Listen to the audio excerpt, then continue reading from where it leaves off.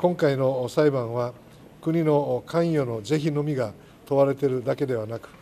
地方自治の根幹ひいては民主主義の根幹が問われている裁判であると考えております。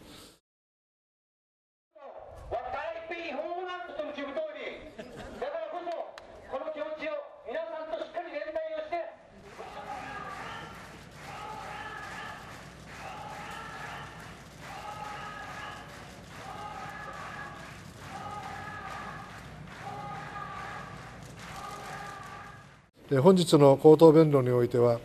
私の本人尋問が認められたことについては評価をいたしますが、他の承認申請については認められませんでした。また次回の口頭弁論期日で決心をし、9月16日に判決を行うことが示されると、短期間での決心となったことは大変残念であります。裁判所におかれましては、まさしく法の番人として、憲法を起点として保障されている地方自治の本旨に鑑み、公平な判断が示されますことを期待しております。昨日からですね、菅官房長官をはじめ、あの沖縄の関係閣僚が、あの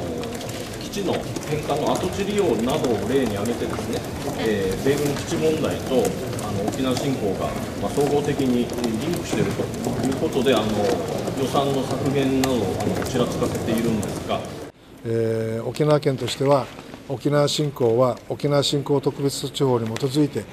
沖縄の特殊事情に鑑み、総合的かつ計画的に講じられているものであり、基地問題とは別という形で認識をしているというのが、今日までの、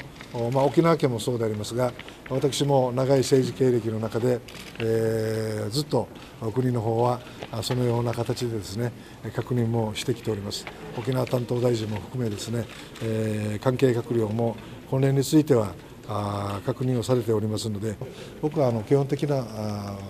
ものがですねあの変わってないのではないかと。いうふうには思っております。ただ、まあ、直接聞いてないということと、まだ直接お会いしてませんので、これからお会いをする中でですね、そういったこと等もですね、理解し合えるように話し合いをしたいと思います。